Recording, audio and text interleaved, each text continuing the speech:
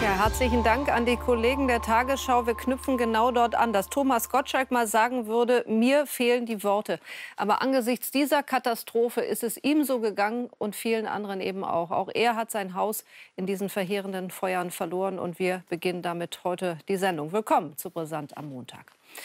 Das Ganze mal in traurigen Zahlen. Mehr als 30 Tote gibt es inzwischen schon. Mehr als Zehntausende Menschen sind auf der Flucht. Viele, viele haben ihr Zuhause verloren. Darunter eben auch Stars wie Thomas Gottschalk. Ähm, seine, Feuer, seine Villa ist ebenfalls Opfer dieser Feuer geworden. Miley Cyrus hat neben ihm gewohnt. Auch ihr Haus ist abgebrannt. Dass man mal versteht, wie groß die beiden Gebiete sind, auf denen die Feuer hauptsächlich wüten, etwa vergleichbar mit einem Viertel der Fläche von Berlin. Also wir haben es hier mit gewaltig viel Feuer zu tun. Air France tötet Tiere. Das ist ein Slogan, den man sehen konnte bei einer Protestaktion. Da ist er in Hamburg, die erreichen möchte, dass Air France doch bitte endlich mal Tiertransporte stoppen möge. Denn das ist die letzte Fluglinie, die solche Transporte überhaupt noch macht und durchführt. Viele andere haben aufgrund der großen Proteste eben aufgehört. Hintergrund sind Tierversuche, wir sehen das da an Affen zum Beispiel, Versuche, die ja grundsätzlich immer wieder in der Kritik stehen, die es aber eben nach wie vor übrigens auch auf deutschem Boden immer noch gibt, unter anderem für medizinische Zwecke. Der Protest in Hamburg richtet sich also gegen die Transporte dieser Tiere. Und wir wollen jetzt hier ein Riesenlob aussprechen, und zwar an, genau, Oma und Opa. Vorweg mal, man sollte sie nie unterschätzen, übrigens auch im Straßenverkehr nicht, vor allem nicht, wenn sie so viel Spaß verstehen wie diese zwei hier. Kleiner Film.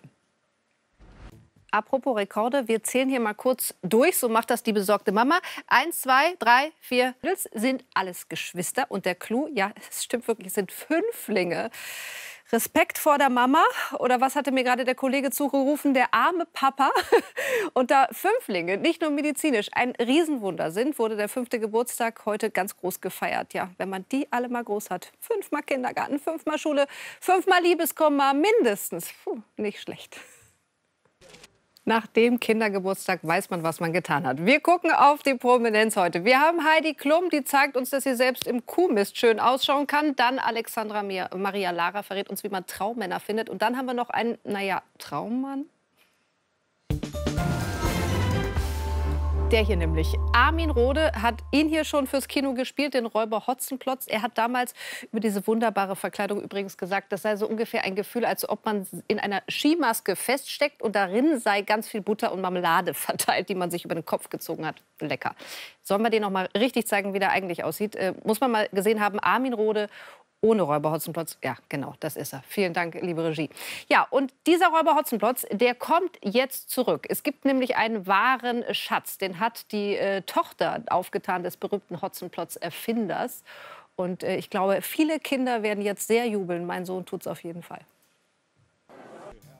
Spannend wird's hier heute. Großstadtrevier, erste Folge der, ich musste das wirklich dreimal nachlesen, der 32. Staffel.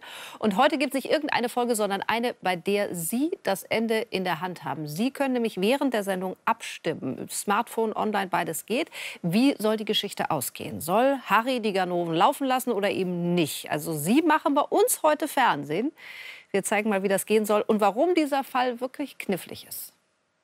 Also auch die Schauspieler sitzen da heute sehr gespannt davor. 1850 geht's los. Und dann haben Sie es in der Hand, was ist gerecht, was nicht. Sie bestimmen heute über das Ende. Sind wir sehr gespannt, was dabei rauskommt. Wünschen Ihnen viel Spaß dabei. Und wir freuen uns dann natürlich auf morgen 17.15 Uhr sind wir wieder da. Tschüss.